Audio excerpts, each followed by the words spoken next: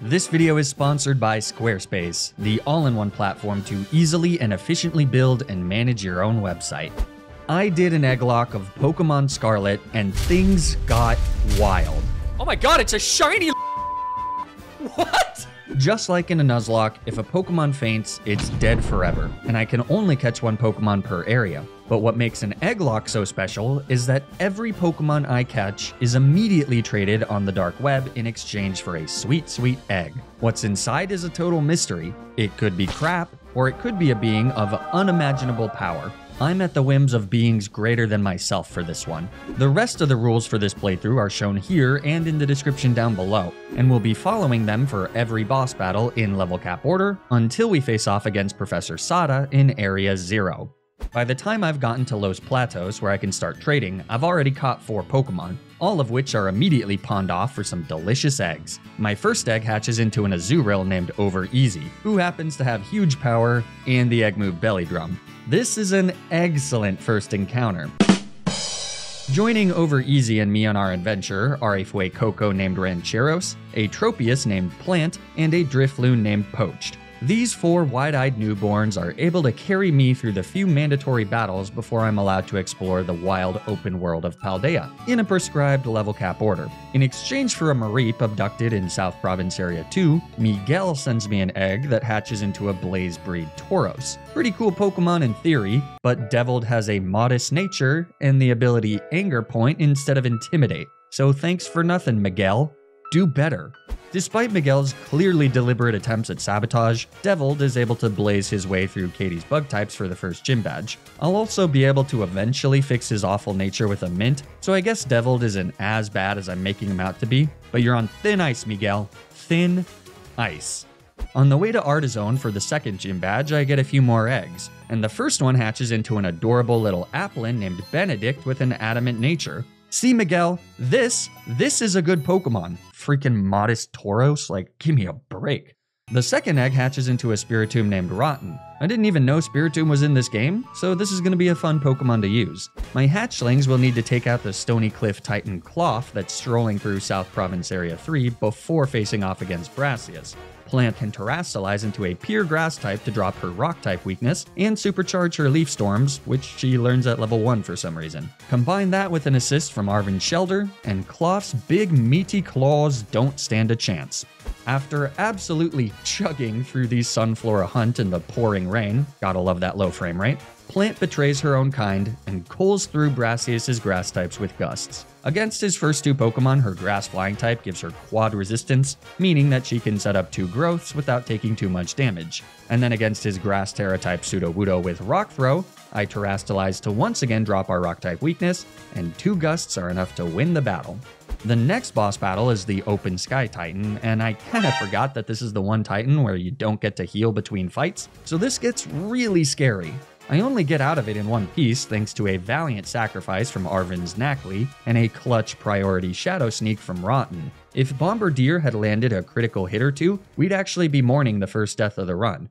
But instead, it's all sunshines and smiles as we welcome five more newborns into the world. The first egg hatches into a Tinkatink, but since Tinkaton was one of the stars of my first Paldean playthrough, she's gonna go straight to the box this time. But sunny side up, the Torkoal with Drought will be seeing plenty of use. She and Scotch the Mareep are brand new team members that'll be replacing Rancheros the Crocalor and Goose the Bombirdier, who get permanently boxed for the same reason as Tinkatink. I'll skip encounters I don't use from here on out, but you can bet your bottom dollar that I'm going to be using this next hatchling, Don Dozo. I have no idea how he fit inside that egg, but that's the physics-defying badassery that we'll need to win this Nuzlocke.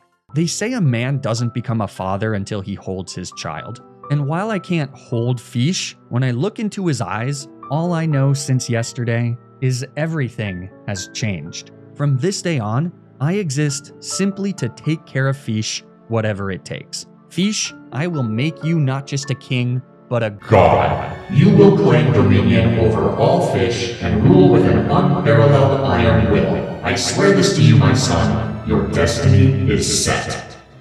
After some training, it's time for my children to complete their very first raid of a Team Star base. Kids grow up so fast. Deviled, the part fighting type horse, and Rotten, the collective of 108 damn souls, work together to take down Giacomo's dark type Segin Starmobile without ever being in too much danger. This is the second boss in a row that Rotten's knocked out with a priority Shadow Sneak. He's the hardest working collective of 108 damn souls that I've ever met. He's also the only collective of 108 damn souls that I've ever met. But anyways, next up are Iono and her electric types for badge number 3. Sunny Side Up's got those drought boosted flamethrowers, which she uses to roast Wattrel like the villains at the end of a Tarantino movie. Bellibolt is next, so Plant comes in after we've put him to sleep with a yawn. After terastallizing, we can safely set up a few growths, and then eviscerate Iono's team with boosted magical leaves. I mean, actually, Plant isn't exactly the strongest attacker, and I wouldn't describe Tropius as a good or even kind of good Pokemon, so eviscerate might be too strong of a word. But at least we get the one shot on Mismagius with a Leaf Storm to close out the battle. That was incredibly whelming, Plant, but you got the job done, so I can't complain. From here, we have to face off against another Team Star boss, so I make sure to train Fish up by letting him feast on his favorite food, unsuspecting land animals. You thought you were safe, little piggy, but no one's safe when Fish, the future king god of fish, is on the hunt. Fish craves fresh land meat. He'll feast on the flesh of innocent Pokemon until he's grown stronger than anyone could ever imagine. So, anyways, Mela and her fire types are forced to face down Fish and all 485 pounds of his eternal glory. She never stood a chance against the soon to be King God of Fish. One thing is clear from this fight, though. When his reign begins, Fish will not be a benevolent leader. What's that, Fish? You're saying if people aren't subscribed to Flygon HG, their day of reckoning is nigh? Better fix that ASAP. It saves your soul, and it really helps out the channel. After Sunnyside Up clicks Flamethrower twice into the Orthworm Titan, it's time to face off against Kofu and Cascarrafa for the fourth gym badge. Over easy, the Azumarill kills Vuvuzela with a few play roughs without taking much damage in return. By putting the Wugtrio to sleep with a yawn from Sunny Side Up, Benedict, the now fully evolved Flapple, comes in and sets up a Dragon Dance, which she learns at the shockingly low level of 24. After that, an Acrobatics kills the Wugtrio in his sleep, leaving Kofu with just a Crabominable. Now, you might think that having a grass dragon type out against an ice type is a recipe for disaster, but Kofu's Crabominable doesn't actually know any ice type moves. So down goes the snow crab, and the fourth gym badge is ours. Time to hatch five more eggs. At the grocery store, five eggs will cost you like $6 nowadays, so getting them for free is a screaming deal. I might not have employer healthcare, but don't say this whole YouTube thing doesn't come without some benefits. Let's see what these puppies hatch into. In mere seconds, the first egg is ready to hatch, and with such a short hatch cycle, I assume that it's just gonna be a Magikarp. But you know what they say about assuming? Shiny Larvitar, baby! Now, as much as I want to credit this to my natural talent as a shiny hunter, it turns out that the owner of this egg saved their game before the egg hatched, and then restarted the game and traded the egg over to me, thereby ensuring that I would get a shiny. I am so grateful for whoever sent this to me. I mean, not grateful enough to spend 5 minutes looking through the VOD to figure out who it was, but grateful nonetheless. In comparison to a shiny Larvitar, the rest of these encounters might as well be more Tauros from El Rancho de Miguel, but I'll mention the two important ones that we end up using. There's Kinder the Beep Beep Pony, and Roll the Tynamo. The former immediately evolves into Farigiraf, aka Honk Honk Horsey, right in time to face off against Atticus and his poison types. Without a steel type, this is a pretty scary fight. He leads with a Skuntank, and I lead with And Ham, who has evolved into a beautiful purple Pupitar.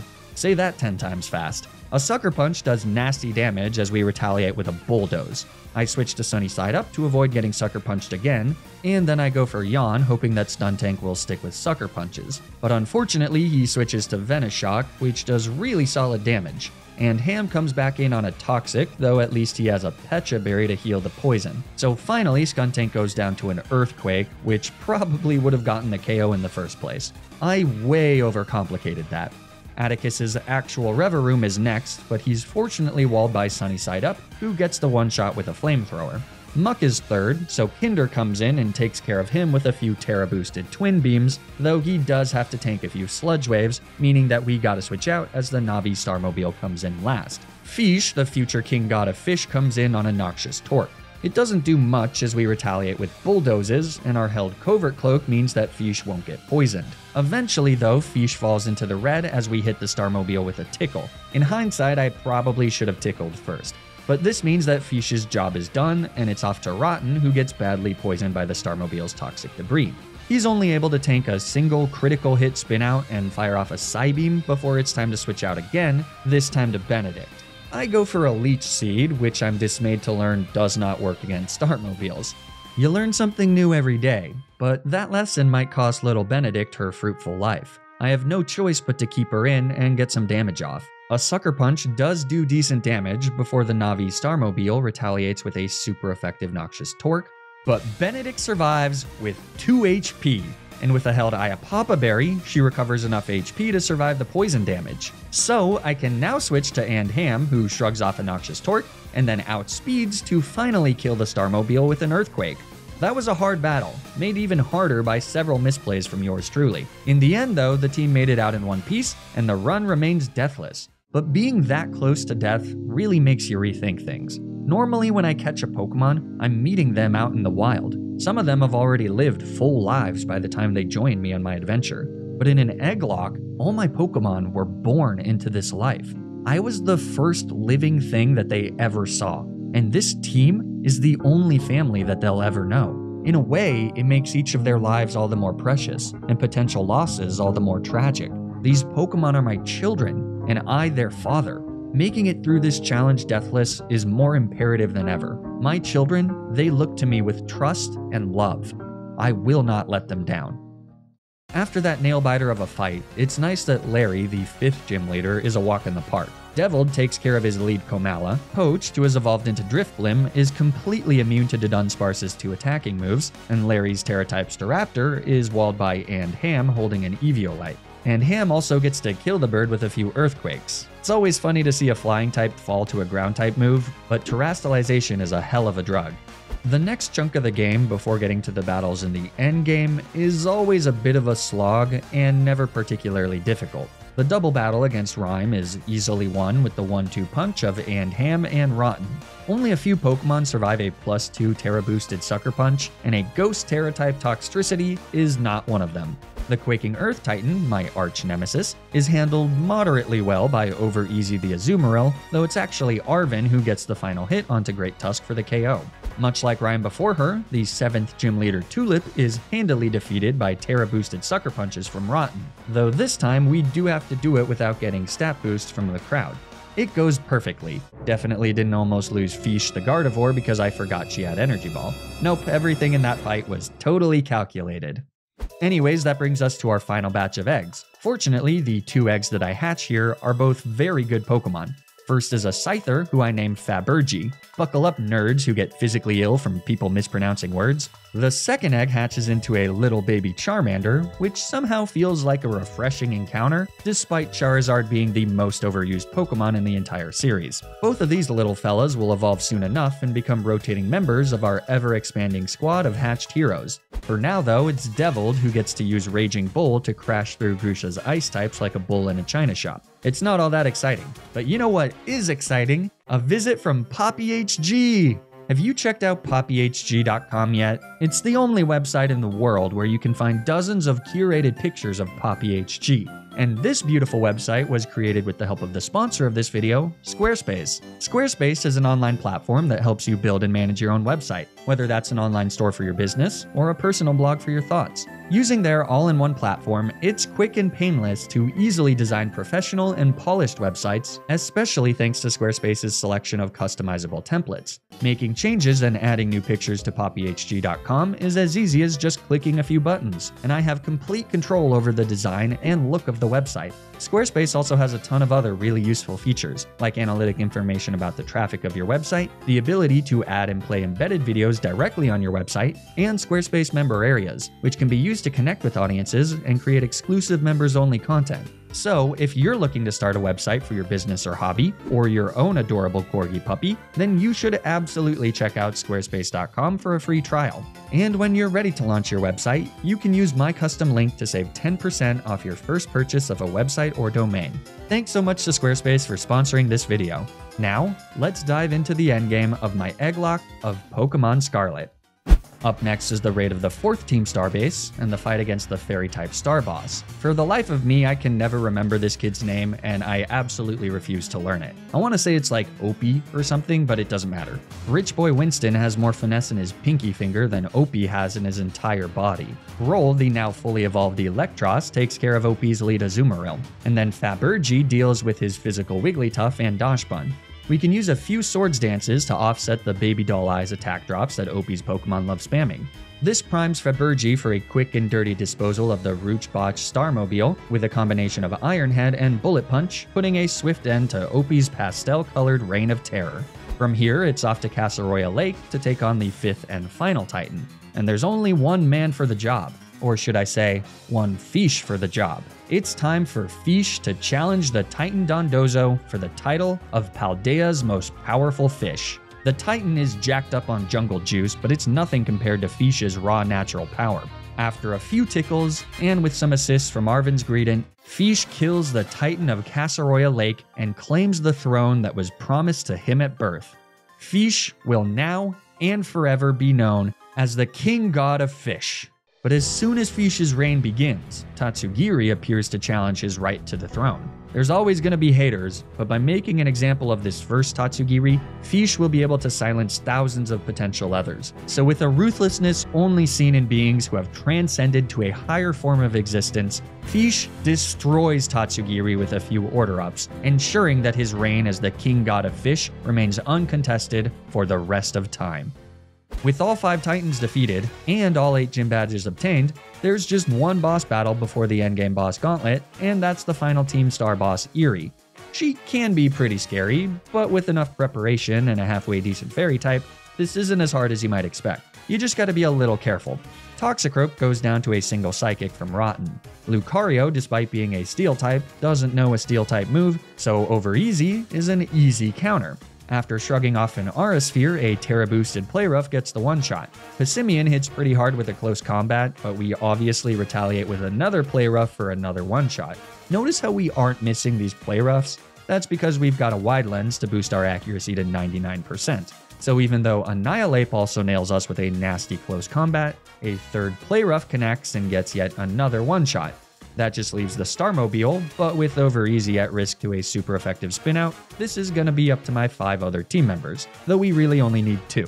Sunny Side Up can reset the Caph Starmobile's boosts with Clear Smog, and Fried, the now fully evolved Charizard, resists or is immune to all three of their attacks. He can also fire off super effective air slashes, no pun intended, for massive amounts of damage. We close out the battle with a flamethrower just to make sure we don't miss, and with that, all five Team Star bosses are defeated, and it's time to take on the bosses of the Scarlet and Violet endgame. This starts with a fight against Clavel, who has a pretty diverse team. Fortunately, we can deal with many of his Pokemon by using And Ham, who has now evolved into a shiny Tyranitar, or as I've affectionately started calling him, Tyler Tar. Crunch one-shots Clavel's lead Oranguru. Abomasnow sets up an Aura Veil before Fried kills him with a Flamethrower. Gyarados is third, and by pivoting through Over Easy, I can bring Roll in on an Earthquake, who kills with a I mean, who does good damage with a Volt Switch and brings Over Easy back in on an Aqua Tail. Stupid Aurora Veil. Okay, well, Roll comes back in now, though this time she gets nailed by a Stone Edge. But then we kill Gyarados with a second choice Scarf Volt Switch, bringing Tyler Tar back in as Clavel sends out Houndoom. After getting tickled by a Thunderfang, Earthquake takes out Houndoom. Then Polteageist goes down to a crunch, so all of a sudden, Clavel is left with just his Meowscarada, but he's powerless against Sunny Side Up, who shrugs off a Flower Trick and then a Thunder Punch that paralyzes, before torching the kitty cat with a single flamethrower and winning us the battle. Next up is the Paldean Elite Four. For this challenge, we're going with the team of Andham the Tyler Tar, Miguel's Dollar Tree Tauros, Fabergy the Scizor, Overeasy the Azumarill, Roll the Eelektross, and Fried the Charizard. They've all come so far since they hatched out of those physics defying eggs, and we've managed to make it here without a single death. Losing even a single hatchling would be devastating, so I'll be doing everything in my power to keep my babies safe. Let's do this. Rika's first and leads with a Whiscash, so Roll, equipped with a Choice Scarf, comes out swinging with a Giga Drain for the one shot. Donphan is third and can't be one shot thanks to Sturdy, though it doesn't actually even matter since Giga Drain isn't enough for a one shot anyways. That's impressive bulk, but less impressive is the Stone Edge miss that lets Roll finish off the Stubby Elephant with another Giga Drain and staying at full HP. Dugtrio is third and sets up a Sandstorm, which causes Roll to miss. But we connect on the next turn, recovering all the HP lost from a Rock Slide and Sandstorm chip. That brings out Camerupt next, so it's time to finally switch to Over Easy. She comes in on a yawn, but then one shots Camerupt with a liquidation. So last is Rika's Clodsire, who's walled fairly effectively by Roll. Thanks to the Terastallization, Giga Drain now does super effective damage to Rika's ace. So a few turns later, we've fully sucked the life out of Clodsire and won the battle against the very first Elite Four member. Next up is Poppy, but by this point I've fixed Devil's abysmal modest nature, so he mows through all of Poppy's steel types like a bull in a china shop. I know I already used that simile in the battle against Grusha, but it makes more sense here against steel types, so just pretend that I'm saying it for the first time. Anyways, next up is round 2 against Larry, who now has flying types. But guess who's holding a choice scarf and knows Ice Spinner? This isn't a pure sweep because Staraptor lowers Over Easy's attack with an Intimidate. So I do need to switch to Roll on a Brave Bird, who then kills Staraptor with a Volt Switch that brings Over Easy back in. But then it's a sweep. W- well, sorta. Oricorio actually survives an Ice Spinner, so fortunately I had the foresight to Terastallize to drop my Electric type weakness, because otherwise a Revelation Dance would have hurt. Because Ice Spinner didn't kill Oricorio, I'm worried that we'll also miss out on the kill against Flamigo, who has similar bulk. So I first switched to And Ham on a Tera boosted but resisted Brave Bird. Then it's back to Over Easy on a baited close combat. So now, with the chip from Sandstorm and the defense drop, Over Easy cleanly takes out Larry's fifth and final bird with an Ice Spinner, winning us the battle. That means that last for the Elite Four is Hassel, the Dragon Trainer. Noivern is first, so I lead with Fried, who takes advantage of the fact that Game Freak never gave him a secondary Dragon type, and therefore does not have a Dragon type weakness. Two Dragon Pulses are enough to take out Noivern, who can only retaliate with a single Super Fang. Fabergy comes in to take care of Hassel's Haxorus next. Crunch is his best damaging move into my Steel type bug, but a combination of Iron Head and U-Turn is enough to finish him off before the damage piles up. It also gives me a safe switch into And Ham as Dragalge comes in third. He obviously goes down to an Earthquake, bringing Flapple in fourth. And though Flapple does have super effective seed bombs, Tyler Tar is bulky enough that even a critical hit wouldn't get the one shot. So we're safe to stay in and take out the smallest of Hassel's Pokemon with two crunches. Last is Baxcalibur, but Hassel's ace is completely walled by Overeasy. The best he can do is hit us with a few icicle crashes, but with a wide lens, we're all but guaranteed to connect with two play roughs, which take out Baxcalibur and win us the fight against the final member of the Elite Four. But now it's time for the champion, and while she may not be Cynthia level, she still demands some respect. This battle is all about positioning so that you can be ready for what's coming in next. And Ham is my lead into Geeta's Espathra, and although she can fire off a super effective Dazzling Gleam, our held Assault Vest and the special defense boost from our Sandstorm means that the damage is minimal as the Psychic Chicken just falls to a crunch. Avalugg is baited in via Body Press, so Fried takes the attack on the switch, and then we melt her down with a Flamethrower. Kingambit is third, and Fried actually isn't strong enough for the one shot with Flamethrower, so it's off to Deviled, who takes neutral damage from a nasty Stone Edge, and then kills Kingambit with a close combat on the following turn. Next up, Vuvuzela. So it's off to Over Easy. We've seen this matchup before, and it goes just as well this time around. Two play roughs, and the pointy fish goes down. Fifth is Gogoat, so it's off to Fabergy as he sets up a bulk up. The idea is to U turn off of this Gogoat to get Tyler Tar in for free, who will then be able to easily take out Geeta's Glimmora before she can do any damage. Because Gogoat sets up with Bulk Up though, I need to hit him with two Iron Heads before he goes down to a U-turn. But our second Iron Head crits, which bypasses Gogoat's defense boosts and gets the knockout. So as Glimmora takes the field, Fabergy is still hanging around. I guess he wanted the glory of victory all to himself. After terastallizing, Glimmora outspeeds, but goes for Earth Power instead of a Rock-type Tera Blast. So we retaliate with an Iron Head for a clean knockout. Mini crisis averted, and the battle is won. But the challenge isn't over, and the hardest fights are still to come. To close out the Starfall Street storyline, we need to fight Penny and her evolutions. Her lead Umbreon falls to Fabergy, the Limelight obsessed Scizor. He baits out Flareon second, and this is one matchup he can't win. So it's off to And Ham on a Fire Spin. Despite an attack drop from a Baby Doll Eyes, an Earthquake gets the knockout. Vaporeon is third, but gets walled by any water type, so Over Easy takes him out with a few play roughs. Next up is Jolteon, so now it's time for a showdown of the pure electric types. With Giga Drain at her disposal, Roll has this one sealed up no problem. Leafeon is fifth, and the final Pokemon before Penny's a Sylveon. With a bit of patience, I get Fabergy into a position where he takes out Leafeon without getting his attack lowered by Baby Doll Eyes. This puts him in the perfect position to face down Penny's terrifying Terastallized Sylveon. With a single Iron Head, Sylveon falls, and the final fight in the Starfall Street storyline is won. So, next up is Arven.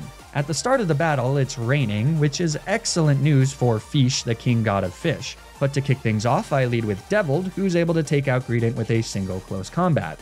That brings in Garganacl, so it's off to Fish, who unfortunately comes in right as the rain stops.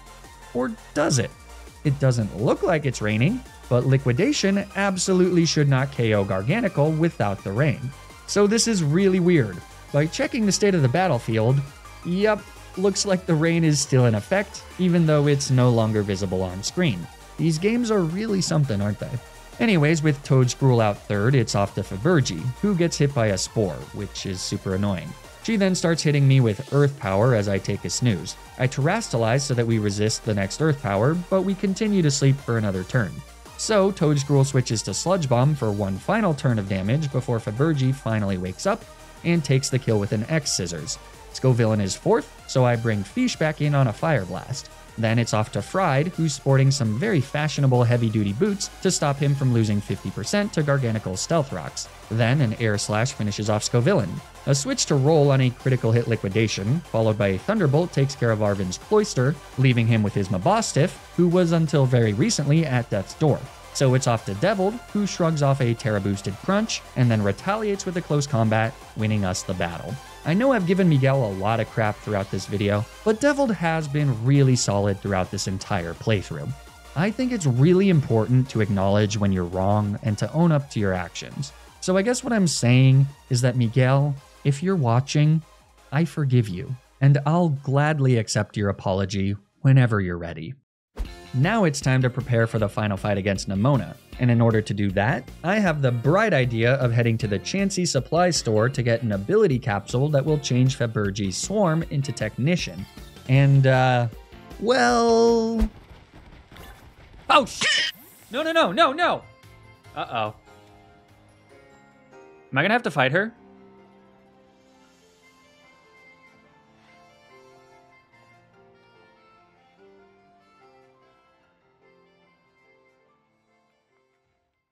Fun fact ability capsules can't even be purchased until after defeating Professor Sada, so this was a capital O oopsie. I can't believe that I've been deathless this entire playthrough, and it all might go up in flames because I accidentally started the hardest battle in the game unprepared. I mean, I actually can believe it, but this feels like I've let my children down. They're gonna have to play their hearts out if we want to avoid a family tragedy here. First up is Nemona's Lycanroc against Deviled. This ends up being a fairly solid accidental lead, since Deviled can outspeed and one-shot Lycanroc with a close combat. That brings in Orthworm second, so it's off to Fried on an Earthquake. And then Fried fries him with a Flamethrower for yet another one-shot. But third is Pawmot, and this little shit is actually a massive issue. Look at him. The face of pure evil. Close Combat and Double Shock both just hit so hard, and with the six Pokemon I have, there isn't a super easy way to take out Pawmot quickly. I decide that my best bet is to Terastallize Fried so that he loses his electric type weakness. This means that we can safely fire off a Tera boosted flamethrower and hopefully survive a double shock in retaliation as long as Pawmot doesn't crit. But it's actually Fried who gets the crit, killing Pawmot in one shot. Plot armor beats stupid every time, baby. Fourth is Goodra, who's also a bit of an issue. I stay in for a turn to get off some damage with Dragon Pulse, since I know that we're safe from even a critical hit Muddy Water. But then I gotta switch out. Fish is a relatively safe switch here, but I need him as healthy as possible for Nemona's Tera-type Skeledirge that's waiting in the back. I've already wasted my Tera, and Skeledirge will outspeed us, so the King God of Fish will need to tank at minimum two hits. For that reason, I decide to switch to Benedict on a Muddy Water. This will bait an Ice Beam, which theoretically gives me a safe switch into Deviled as long as Goodra doesn't freeze, but I've been screwed by freeze way too many times in the past. So I first switched to Roll, who for what it's worth does not get frozen. But now I use Volt Switch to bring in Deviled on a Dragon Pulse, which does less than 50%. And then a Close Combat finishes off Nemona's Friend-shaped Pseudo Legendary. That brings in Nemona's rare three-segmented Dudunsparce. So I suppose he's actually a Dududunsparce. But that extra segment doesn't save him from falling to a super effective close combat. With that, Nemona's left with her Skeledirge, easily her scariest Pokemon. Tera boosted Torch Songs can be pretty terrifying, especially stacked with a Blaze boost. This is all up to Fish, the king god of fish. Fortunately, Skeledirge decides to go for an Earth Power on the Switch instead of Torch Song. Makes sense since he was trying to target Deviled. Unironically, if Nemona's Skeledirge only knew Torch Song, he would be so much scarier. Since Earth Power didn't get a special defense drop, the King God of Fish is safe to tank two Shadow Balls from Skeledirge and retaliate with Liquidations both times. The second Liquidation takes out Skeledirge, so miraculously, we win a battle that could have been an absolute disaster. But there's still one last challenge to face the coolest, scariest final boss battle that the Pokemon franchise has ever seen. It's time to save the world from AI Professor Sada and win this Egglocke once and for all. Sada leads with her ancient Mothy friend. Very fluffy, but very weak to flying type moves. And Air Slash from everyone's favorite Pokemon gets the one shot on the bug fighting type Paradox Pokemon. That brings in Flutter Mane next, so it's time for a switch to Fabergy on a baited Power Gem. This Pokemon is crazy strong and crazy fast, but they're also very frail. Even a non-technician priority bullet punch is enough for the one-shot, with an expert belt of course. So third is Brute Bonnet, the grass dark type Amoonguss. Thanks for the free KO, Sada. I mean, I guess it's not technically free since they do get off a pretty gnarly sucker punch, but Fabergy's job is done. As Sandy Shocks comes in fourth, it's off to roll. Two Giga Drains are enough to take out the ancient Magneton, which frankly doesn't really make much sense as a concept, but I'll give it a pass because Sandy Shocks is rad. Scream Tail is fifth, so it's time for Fish, the king god of fish, to take the stage. A play rough tickles Fish on the switch in, and even though Scream Tail outspeeds us, we outdamage with Liquidation, and the pink Banshee falls a few turns later. That's what you get for opposing the rightful king god of fish. Last, but certainly not least, is Mommy's Roaring Moon, whose attack gets buffed by a held booster energy. But we have just the counter for this Dark Dragon type variant of Salamence, and her name is Overeasy, my very first child. She comes in on a Dragon Claw for free. And then, not wanting to leave anything to chance, we Terastallize, tank a frankly embarrassing Earthquake, and nail Roaring Moon with a nasty Fairy type Tera Blast. As Roaring Moon falls, we've won the battle, and my first ever Egglocke of Pokemon Scarlet completely deathless. Whoever said you couldn't make an omelet without breaking a few eggs was clearly an idiot. They definitely weren't very good at Pokemon, that's for sure. I hope you enjoyed this Egglocke, and if you'd like to see more Egglockes, possibly in a different game, let me know by leaving a comment. And it'd also be great if you could like the video and subscribe to the channel. Or don't, I don't know but I do know that you should follow me on Twitter and Twitch to keep up with streams of my future challenges. You should also subscribe to my highlights channel to get highlights of the challenge I'm currently streaming before it's cut down to a video on the main channel. And you should consider subscribing to my Patreon, which is the best way to directly support the channel and comes with bonus content and early video access. The links to everything are in the description below. Stay tuned for more Nuzlocke videos, and until then, remember to always, always, always play around the critical hit.